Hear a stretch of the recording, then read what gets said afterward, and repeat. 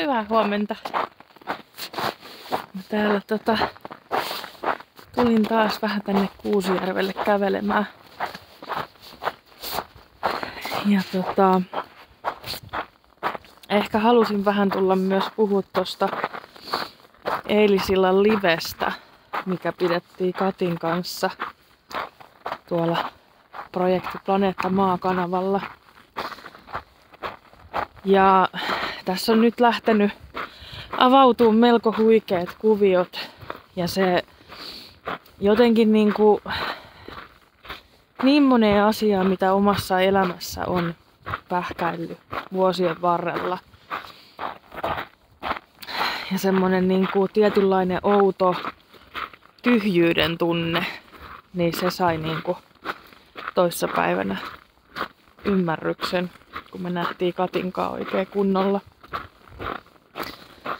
Ja sitten tosissaan siinä livessä avattiin sitä uh, jotain semmoista suurta lähti myös sen liven aikana liikkumaan. Ensinnäkin mä haluan kiittää ihan super paljon kaikkia teitä, ketkä laitoitte sen liven jälkeen viestiä. Koska jotenkin tää kaksosenergia, niin se tuntuu nyt liittyvän jollain tavalla tähän aikaan, mitä täällä on tapahtumassa tällä hetkellä. Ihan niin kuin lähivuosina.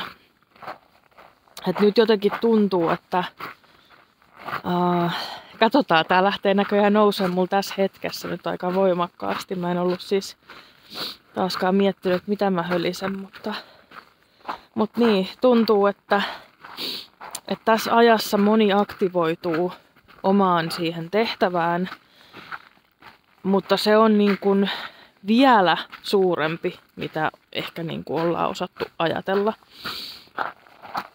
Ja jotenkin minä ja Kati ollaan semmosessa tietynlaisessa, niin kuin, no mulla näytetään niin kuin nyt kurkiauraa, et me ollaan siinä tavallaan tällä hetkellä siinä kärjessä, että vähän niin kuin raivataan tietä ja näytetään sitä tietä.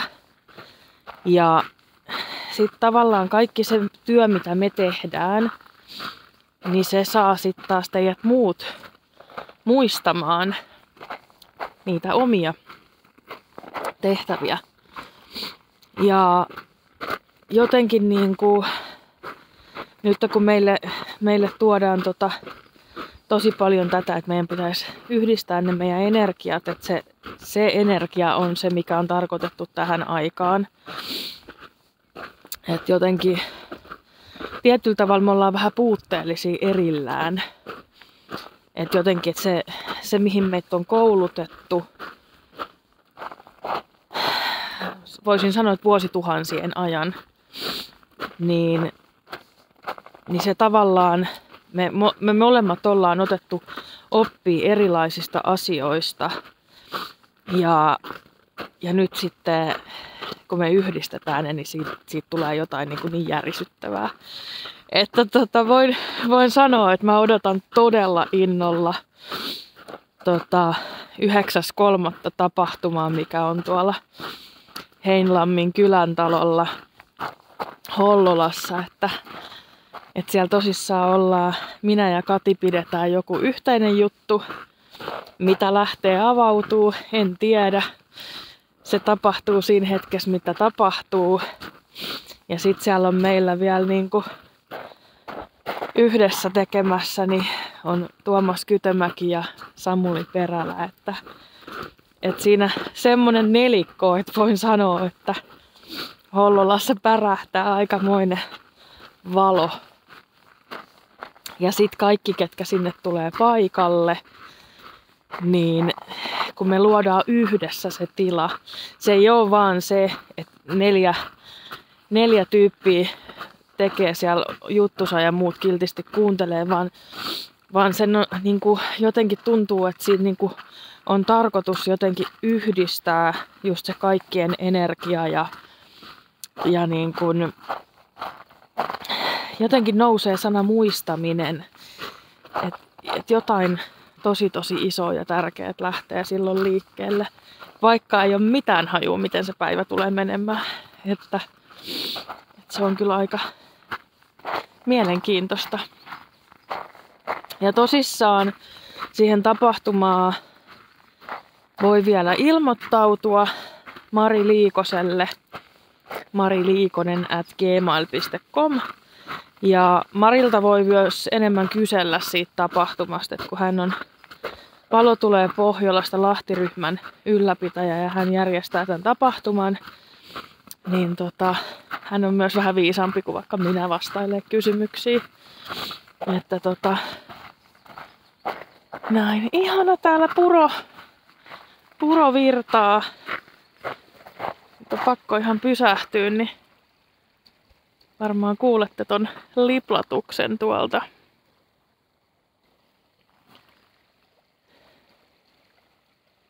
Aivan ihana. Eilen mä kävin, ennen kuin aloitin päivän tohinat, niin kävin joella katsoa kuohuvaa jokea ja mä ajattelin, että nyt mä haluan metsää. Mutta sitten mä kaipaan kuitenkin aina myös vettä. No mä sain veden. Tää on aivan ihanaa. Tällä jaksaa niinku, kun tota, aloittaa aamut näillä omilla käppäilyillä, niin jaksaa kummasti eri tavalla sen päivän askareet. Ja tota, joo. Jotain semmoista hyvin merkittävää on tulossa niin kuin tässä kevään aikana. Ja nyt se jotenkin ton eilisen liven ja sitten kun Katilta oli tullut kanavointi siihen vielä, mikä siinä livessä tulee, niin tota, niin jotenkin vaan asiat loksahti täydellisesti paikoille. Ihan niinku, että on jotenkin, että näinhän tämän piti mennä. Joo. Ja tätä nyt on vähän jo ilmoitellutkin, mutta ilmoitanpa nyt uudelleen, koska tää on semmonen asia, mistä mä oon niin hullun innoissani. Ää, eli sunnuntai 7. huhtikuuta. Mulla tulee tasan kaksi vuotta siitä, kun mä irtisanoin itteni kampaamolta. Ja jotenkin se tuntuu ajallisesti tosi tärkeältä, kun nämä mun jutut menee aina kahden vuoden sykleissä.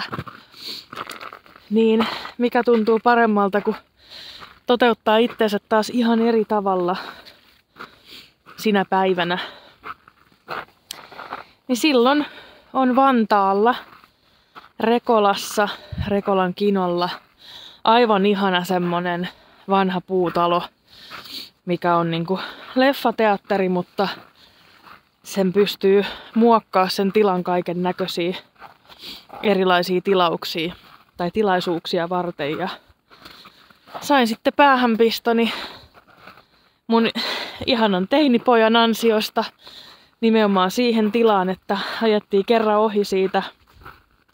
Ja mun poika vaan tokas, että, että toi on muuten paljon isompi paikka sisältä, mitä se ulkolta näyttää. Ja sitten mä hetken mietin, että miksi se sanoi noin. Ja sitten se tuli kuin salama kirkkaalta taivaalta, että no niin, siellä mä pidän messut. Eli mä järkkään silloin 7. huhtikuuta kello 10-17 siellä Rekolan kinolla hyvinvointimessut, minne tulee erilaisia näytteilijäasettajia, että siellä saa hoitoja ja tulkintoja ja, ja tota, sitten tulee luentoja mielenkiintoisilta ihmisiltä. Ja no sanotaan, että Katja minä ollaan ainakin pitämässä siellä joku yhteisjuttu myös. Ja sitten aivan ihana Johanna Nurmimaa on ilmoittautunut, että tulee luennoimaan sinne. Hänen energia on jotenkin niin, kuin niin huikeeta. Aivan huikeeta. Ja sit mulla tuli tosi voimakas tunne, että pitää pyytää tää mun rumpujen tekijä Yrjö sinne pitämään vähän luentoa shamaanirummuista. Ja, ja tota, hän on myös siellä sitten näytteille asettajana.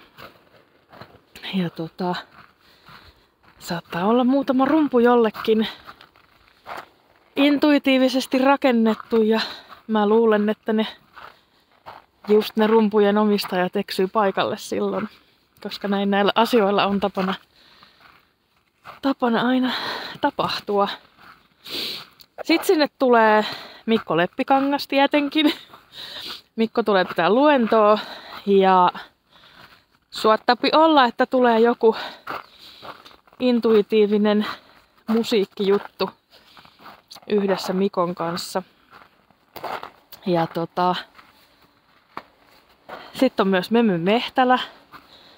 Tulee tekemään näitä tämmöisiä hoitoja Deems-sauvalla. Ja on siis aivan huikea, huikea tyyppi, että ollaan tavattu ää, Vaasassa messuilla. Ja tota, saman tien jotenkin tuntui niin tutulta energiaa, että, että hän tulee myös luennoimaan ja kertoo tota, tästä saupasta myös vähän tarkemmin. Ja sitten, mitähän vielä? Mä laitan tarkempia tietoja näistä. No hei! Sinä tulit lähelle. Mun huomio haettiin nyt jonnekin ihan muuhun. Mut joo, mä laitan tarkempaa infoa näistä messuista tulemaan ja, ja laitan sit yksittäisiä esittelyitä myös näytteille asettajista ja luennoitsijoista. Niin tänne tota, YouTuben puolelle postauksina kuin tota, myös sitten tonne Instagramiin ja Facebookiin. Ihana, kun mä lähden kävelemään, niin hän seuraa mua. Joo, mä luulen, että tää oli mulle merkki, että nainen nyt se puhelin veke ja keskity olennaiseen, että mä hiljenny hetkeksi tänne ja jää vähän ihmettelee, että mitä mulle halutaan kertoa. Mutta toivottavasti nähdään mahdollisimman moni siellä Hollolan tapahtumassa. Ja sitten tietenkin olisi ihana, kun tuli sitten vähän messuilemaan ja katsoa fiiliksiä. Kaikkea hyvää teille tähän helmikuun loppuun ja muistakaa rakastaa. Moi moi!